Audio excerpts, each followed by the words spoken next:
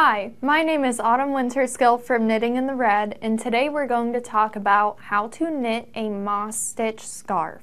When we're knitting moss stitch, the important thing to remember is that we're knitting two rows, which are knit one, purl one.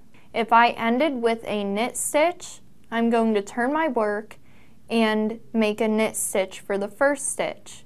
That's going to make a checkerboard effect. And in the third row of our pattern, we're going to knit across all the stitches. This is the fundamental of moss stitch.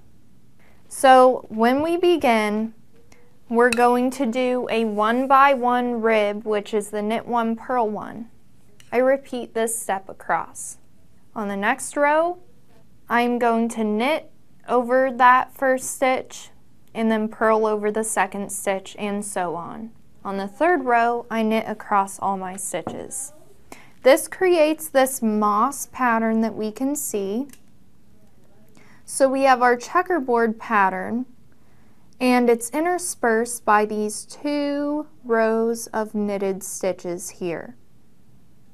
So we have depressions here and we have elevations in our work. That is what moss stitch looks like. Again, my name is Autumn Winterskill from Knitting in the Red and you just learned how to knit a moss stitch scarf.